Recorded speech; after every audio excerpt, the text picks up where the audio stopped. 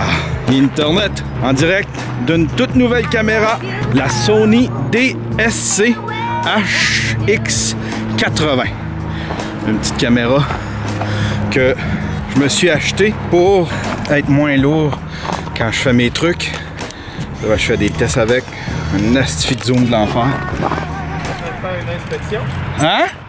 En train de faire une inspection? Non, je suis un YouTuber. OK. C'est gênant de dire qu'on est un YouTuber à 46 ans. Mais bon, que je m'assume.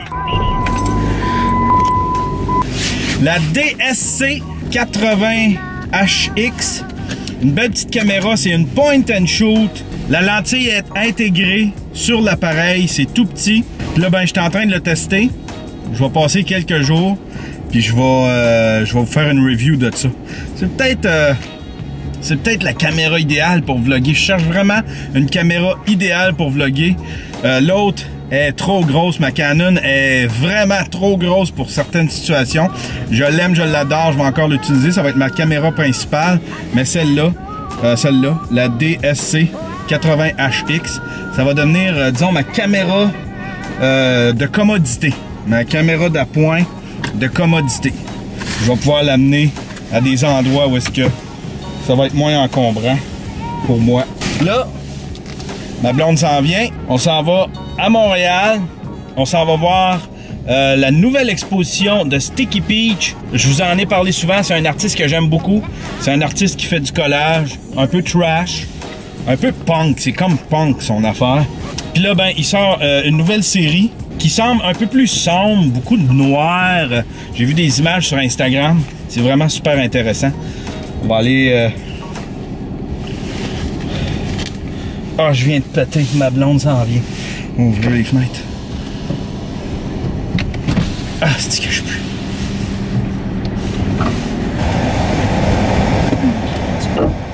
T'as senti quelque chose?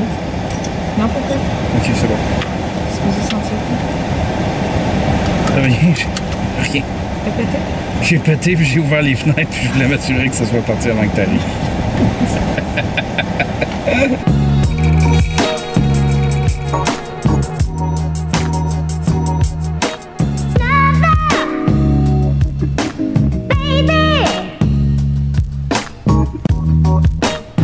On sort de la- l'exposition, de la nouvelle série de Sticky Peach. C'est vraiment des belles toiles. Sticky Peaches. On sort de la nouvelle exposition de Sticky Peaches, sa nouvelle série. C'est vraiment une belle série. Plus sombre. Euh, Il y a une démarche aussi, il prend des toiles de. de c'est quoi, de la Renaissance? Baroque. Baroque.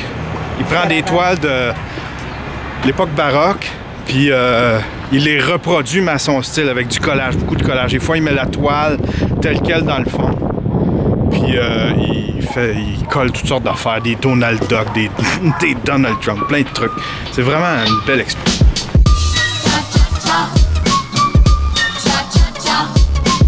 Tisha. Tisha. Tisha. Oh là! Internet! On est. Oh mon dieu, regardez-moi la tête. On est jeudi. Aujourd'hui, c'est ma seule journée pour vlogger. Demain, je m'en vais monter du poisson. J'ai comme une journée pour terminer mon vlog. Épisode? 98 du, euh, du vlog.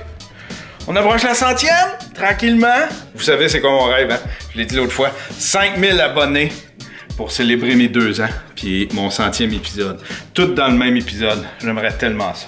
Je pense pas à 5000 abonnés, par exemple. Encore, il m'en manque encore 200-300. Aujourd'hui, euh, c'est une journée compliquée. Je voulais peindre. Euh, je voulais faire du lavage.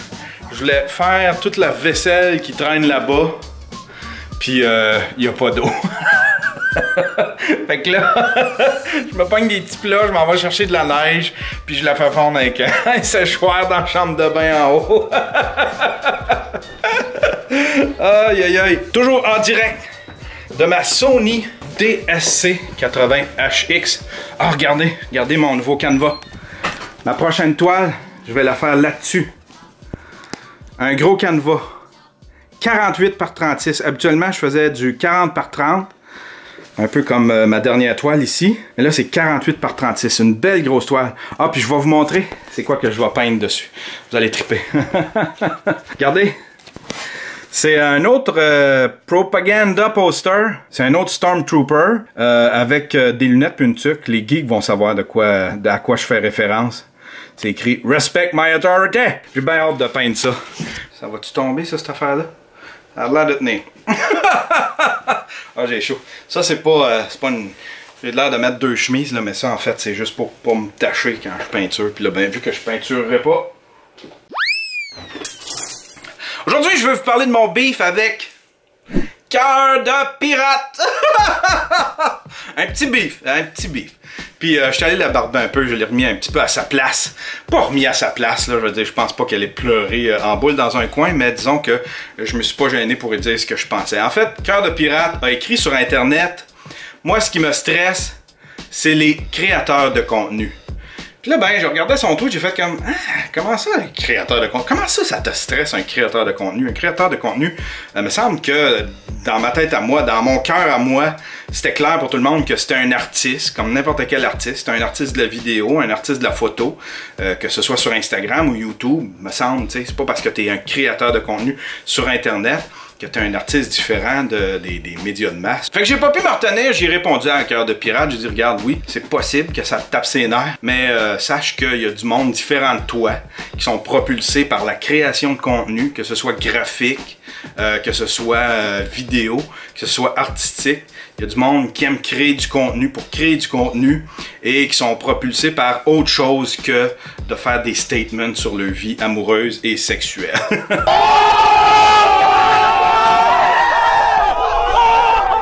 La dernière petite ligne, c'était baveux, là. Mais j'avais le goût d'y planter une petite aiguille. puis après ça, j'ai regardé son tweet, puis je me suis dit, peut-être que Cœur de Pirate confond euh, les créateurs de contenu avec toute la mouvance concernant les, euh, disons, les influenceurs. On va commencer avec les influenceurs. Je veux vous parler des influenceurs. OK, ceux, ceux qui se qualifient d'influenceurs. On va arrêter ça tout de suite. Le mot influenceur ne devrait pas exister. C'est un mot qui devrait être utilisé exclusivement par les agences. Moi, là, ceux qui sont sur YouTube, sur Instagram, puis qui pensent que leur métier, c'est influenceur, c'est pas influenceur ton métier. Arrête de dire ça. Influenceur, c'est une unité de mesure. C'est comme si tu disais au monde, moi, mon métier, c'est 5 pieds 6. Influenceur, c'est une unité de mesure exclusivement pour les agences et puis les marques. Faudrait que les, disons, faudrait que ceux qui créent du contenu sur Internet arrêtent de se qualifier d'influenceurs. Parce qu'effectivement, ils sont des créateurs de contenu. Puis là, là, vous apprêtez à voir un vieux de 46 ans défendre les créateurs de contenu. Je suis tanné qu'on chie sur les créateurs de contenu, sur les so-called euh, influenceurs. C'est pas du monde qui font rien. C'est pas du monde qui font juste prendre des photos d'eux autres, qui font juste se filmer devant leur lit avec des petites lumières de Noël en arrière, à se faire des tresses puis à, parler de maquillage. C'est beaucoup plus que ça. Prenez par exemple Pierre-Luc Cloutier. Je sais qu'il prend beaucoup de balles pour euh, ben des créateurs de contenu. Il est un peu le symbole, il est un peu le poster boy des créateurs de contenu. Mais Pierre-Luc Cloutier, à lui seul, est une industrie, est une mini station de télévision. Il fait lui-même ses émissions, fait lui-même ses éclairages, fait lui-même son son, son montage, fait lui-même sa recherche, fait lui-même euh, sa réalisation, fait lui-même l'animation. C'est une machine, c'est une équipe de télé à lui tout seul. Il fait ça tout seul. Évidemment, probablement qu'il y, y a une agence qui s'occupe euh, de ses contrats, de ses, euh, de ses commandites, de ses trucs comme ça. Mais lui, en tant que créateur de contenu, c'est quelqu'un qui fait ses trucs tout seul. Il vaut à lui seul toute une équipe de télé. Même chose pour les modèles Instagram. On en a contre les modèles Instagram parce qu'on a l'impression qu'ils passent juste leur vie à faire ça, des selfies, à se poser en bikini, puis à se promener sur le bras d'une compagnie. C'est beaucoup plus que ça.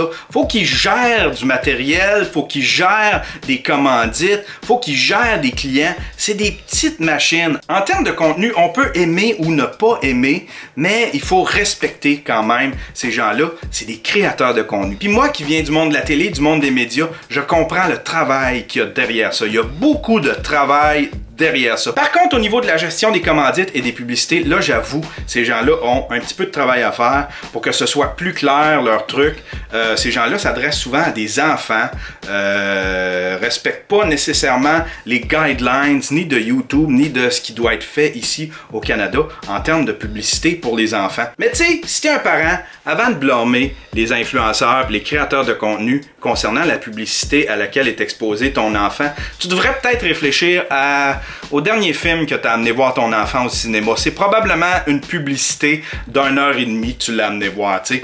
Tous les films qui sont au cinéma, c'est des grosses publicités de 1 heure et demie pour vendre des bebelles. C'est toutes des histoires de franchise, euh, des histoires de marques de commerce. C'est toutes des bebelles qu'on veut te vendre. Évidemment, tout ça est masqué dans un film qui est souvent très divertissant, très drôle, mais reste que c'est une grosse publicité que tu as amené voir ton enfant. Fait que tu sais, on peut-tu doser un peu là, avant de blâmer tous les influenceurs, les créateurs de contenu, de tous les mal concernant la publicité et nos enfants? Regardez-vous un peu. Je suis un papa, je le sais en maudit ce que je suis allé voir au cinéma avec mes enfants, puis c'est ça, c'est de la publicité. De la publicité d'une heure et demie. Pour terminer avec mon histoire de cœur de pirate, après y avoir écrit qu'elle était pas mal propulsée par ses statements amoureux sexuels, elle m'a répondu bon ben c'est bon, je vais aller calculer mes streams sur Spotify. C'était comme un c'était comme baveux là, mais en même temps, tu sais, je l'avais cherché un peu. C'est un à un, disons. pour conclure toute cette histoire-là, j'aimerais quand même envoyer un petit message à cœur de pirate pour lui dire que les créateurs de qu'on les appelle les influenceurs ou créateurs de contenu, peu importe, c'est des gens qui travaillent très fort, qui mènent leur petite affaire tout seuls, ils n'ont pas la même équipe que toi, euh, sont peut-être pas aussi matures que toi en termes de créativité, en termes de gestion de créativité, mais c'est des gens qui travaillent très fort, qui sont en train d'aiguiser leurs skills en communication, en direction artistique, en réalisation, en plein de trucs, à eux autres tout seuls. C'est des machines, c'est des machines. Beaucoup de respect pour les créateurs de contenu, beaucoup de respect pour les créateurs de contenu, surtout que je me considère comme un créateur de contenu. c'est pour ça que je me suis senti touché. Don't touch the creator of content! c'est pas mal tout cette semaine, c'était du chiolage, puis c'était juste pour répondre à cœur de pirate. Allez, à la semaine prochaine!